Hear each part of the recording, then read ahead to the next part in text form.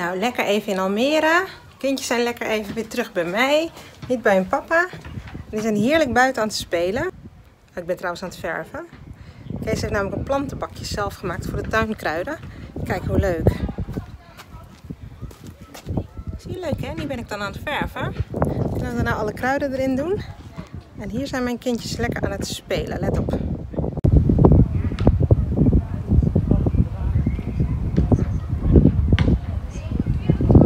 Lekker met z'n viertjes. Iedereen bij elkaar. Nou, dat is toch echt super leuk. Daar word ik nou echt zielsgelukkig van. Van vier kids die het alle vier gewoon helemaal leuk hebben met elkaar. En buiten. Niet te geloven. Nou, ik heb mijn plantenbakje afgemaakt. En ik heb even een spelletje basketbal met mijn kinderen gedaan.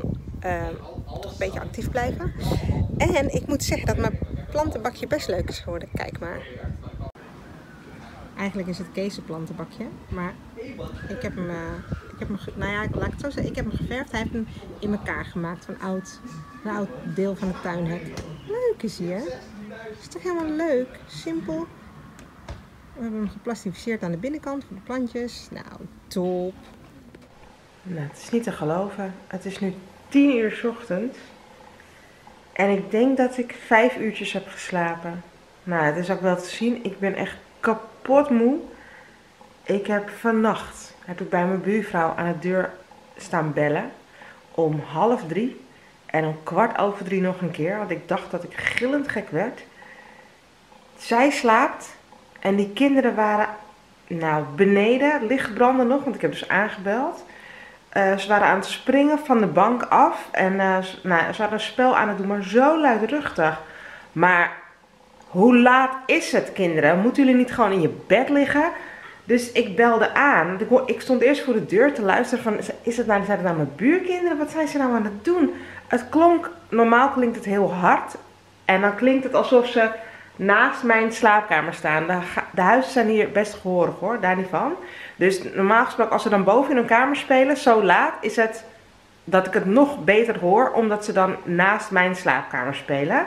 Maar nu waren ze dus gewoon beneden in de woonkamer aan het spelen. Maar ik hoorde elke keer kedonk, kedonk. Dus ik denk, wat zijn ze aan het doen?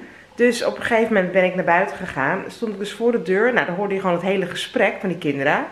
En toen dacht ik, nou ben ik er klaar mee. Dus ik ben naar de voordeur gelopen. Ik heb aangebeld, maar best wel lang. Echt zo. Moet je je voorstellen, half drie s'nachts. In mijn badjas. Ik aangebeld. Hoorde ik die kinderen, dus eerst slaat de, hond aan. En toen hoorde die kinderen, ah, de bel. Mama, mama. Nou, geen reactie. Ik heb gewoon drie minuten voor de deur gestaan. Toen dacht ik, ja fuck you, ik sta blootvoet en het is fucking koud buiten. Maar er werd gewoon niet open gedaan. En, en toen, ja de bel gaat, de bel gaat, ja de bel gaat. Mama, mama. Geen reactie van die moeder. Die ligt waarschijnlijk gewoon te pitten. Maar leuk dat jij ligt te pitten, maar die fucking kinderen houden mij gewoon wakker. Ik ben er echt klaar mee. Het is nu 10 uur ochtends. En ik ga nu aan mijn tafel, ga ik even een brief schrijven voor door de brievenbus te gooien. Want als ik er zie lopen, dan is ze de mijne vandaag. Want dan ga ik helemaal uit mijn plaat, want ik ben er echt klaar mee. Echt klaar mee. Jezus zeg, wat een stelletje imbecielen. Dit kan toch gewoon niet? Ik ben er echt, echt klaar mee. Mensen, ik ben, ik ben zo boos gewoon. Ik heb gewoon fucking weinig geslapen. En ik dacht nog echt gewoon, weet je, lekker slapen. Want die dag ervoor was het ook al een beetje luidruchtig. Toen dacht ik, nou ja, weet je, moet je niet overal druk om maken. Maar het is niet overal druk om maken. Het is gewoon je nachtrust. En op een gegeven moment breekt het op. En dan heb ik dus gewoon echt dit. En nou ja, schoonheidsslaapje kan niet. En het is nu dat ik in quarantaine zit, dat is overdag dat ik nog op de bank kan gaan liggen. Maar het gaat nergens over, want ik wil gewoon werken. En als we zo dat ik weer open ga, wil ik niet met zo'n kop staan werken, zo van, jezus, kan je ogen nog open houden. Dus ik ga nu mijn brief schrijven. Jullie horen nog hoe het verder afloopt. Nou, daar ben ik weer. Ik ga nu, het is, even kijken hoor, het is vandaag uh, zaterdagavond, nu half negen. Oh, ik word ook gebeld. Ik moet even opnemen. Moment. Nou, ik moest dus even opnemen. Dat was mijn collegaatje. Die belde net even om te vragen of ik een zo'n oplaaddoosje van een iPhone mee wil nemen. En dat kan ik. Maar dan denk ik dat ik even naar boven moet lopen. Want die heb ik niet hier beneden liggen. Waarschijnlijk naast mijn bed. Maar uh, ik ga dus naar mijn werk. Want we hebben een, uh, Oh, het is een beetje donker. We hebben een haaravond. Dus even gewoon met een paar collega's. Niet iedereen kon helaas. Was wel gezellig geweest. Maar ja, we zijn nu met z'n drieën. Dat is ook gezellig. Gaan we even elkaars haar doen. Oh, hier is hij. Ik denk al. Zoek, zoek en gij zult vinden. Gevonden. Dus uh, we gaan even ons haar fixen. Ik moet een stukje van de achterkant af, want ik heb een matje. ja, dat klinkt een beetje gek, maar... Kijk, ik heb een boblijnlengte nu. Dit vind ik op zich wel, het moet doorgroeien. Het staat nu echt heel leuk. Maar onder, ja, ik kan het niet uitleggen, denk ik. Kijk, ik weet niet of je het kan zien hoor. Ik, ik zie dus niet wat jullie zien. Maar hier is het, komt het eronder vandaan. Stom. Mijn jas en mijn tas. Dan op de fiets. Nou jongens, ik ben dus nu op weg naar huis vanuit, mijn, vanuit de kapsalon. En ik heb best wel wat wijn op. Um, ik vond het super gezellig met mijn collega's. Ze hebben mijn haar echt goed gedaan en ik ben heel blij. Oh, wacht even. Is dit mijn kat? Nee, dit is niet mijn kat.